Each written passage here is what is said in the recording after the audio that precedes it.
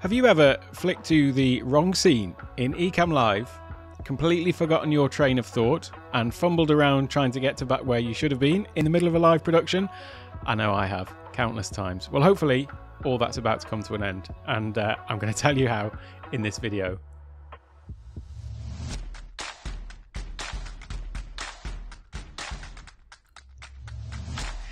Hello and welcome to Take One Tech. My name's Alec, and uh, if you have watched any of my other videos, no doubt you will have seen on countless occasions in the middle of uh, me trying to present something, uh, coming to a point where I say, Oh, I didn't mean to go to that scene. And then I look down at my trusty Stream Deck, fumbling around for the right button to get me back to where I wanted to be, or at least where I was previously. And uh, if you do that, then it is very easy to get thrown off what you were speaking about, off your train of thought and whatever. And although I do record all of my videos generally, apart from my weekly live streams, I still do aim to take them all in, uh, to make them all rather in one take. So being thrown off my train of thought like that is a little bit frustrating. And uh, I don't know about you as the viewer, but I always leave them in anyway. so I'm sorry that you've had to suffer these uh, very unprofessional mistakes that I've been making. Well, anyway, this video aims to rectify this. And if you do this as well, then there is something built into Ecamm Live which can help you. And this is another one of my videos this week of things that I learned from Doc Rock because it was watching his uh, uh, daily uh, tips and tricks on the Ecamm Live uh, Facebook page, where I believe I heard this, or maybe on one of his other programs, I can't remember. But anyway, it is the simple two step keystroke you need to remember, which is Command Backspace. Command backspace will always take you back to whichever scene you were previously on. So it's not going to be the next scene or the previous scene in your list of scenes. It will just simply return you to the previous scene that you were on. So if ever you get stuck, you, all you need to know is to press that. So that got me thinking, well, that's what I need to have as a button on my Stream Deck. I need a button that I can easily press so that if anything goes wrong, in a case of emergency, I can always get back to where I was.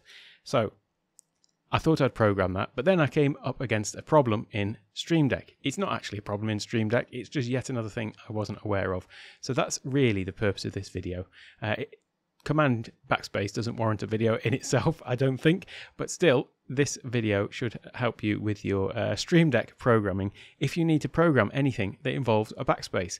And I'll show you why. If I come over to my uh, screen sharing, uh, as you can see, I've got my little space here ready for my emergency icon right down in the bottom corner where I can easily just uh, touch it without even looking down at the Stream Deck. So I've got an icon to put there and I hope you will appreciate it in case of a scene emergency. That is the button that I'm going to put there so that it stands out from all of the others. and so what I need to do is actually program that in as a button. Now, as I've said many times before, I'm always impressed by just the number of buttons that uh, Ecamm Live has created um, as sort of built in functions for uh, the Stream Deck. And what this means is that even if you aren't in Ecamm Live as an active application, when you press any of these buttons, it will still activate that within Ecamm Live. Uh, so we do have a next scene and a previous scene. However, there isn't a built-in button for this return to the previously active scene. Uh, and so because there isn't a button, but we have got a hotkey, what we always have to make sure is that if we've come out of Ecamm Live and maybe we might be uh, doing a demonstration of something in a website, for example, then in that case, Safari would be the uh, the active application. And so if we were to just press Command uh, backspace, then it would trigger that hotkey for Safari rather than Ecamm Live. So we want to make sure we always come back and make Ecamm Live the active application. And the way that we do that is by using a multi-action and actually set it to go to Ecamm Live first. So what I'm going to do is right click in here and I'll select create multi-action.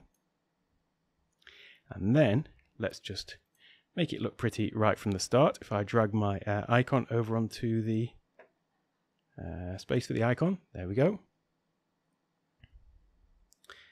Ah, that didn't quite work. One second. Ah, it's not liking me today. There we go. So I've got my pretty little icon on there. So now this is a multi-action. So we want to edit that by clicking the little arrow next to it. And then here we want to have two actions. The first one is going to be, uh, we're going to use the open, which is in the list of actions for the system. So we're just going to drag that one in. And then from here, we'll just select Ecamm Live. And as I've mentioned before on some other videos, uh, if you have uh, not got the application open, then obviously it will open it. But if the application is open, then this will serve to just simply switch to that application. Uh, one second, there we go. So that now is going to go to Ecamm Live, and then the next thing we're going to do is enter the hotkey. So the hotkey is Command Backspace. Now this is where there is a bit of a problem. So when I press Command Backspace, what it does is it actually just deletes the action. So you come in here and add on the hotkey again, because in here you can actually click a little arrow to assign the hotkey. So we've got backspace, but now we haven't got the command backspace. So there'll be people out here screaming at the uh, screen and telling me what to do, but I'm sure there'll be others like me who didn't realize that what you can actually do is if you click the down arrow and then you hold down the command key, you'll notice it puts the command in front of all of those options. So that is how you would select command backspace as the hotkey.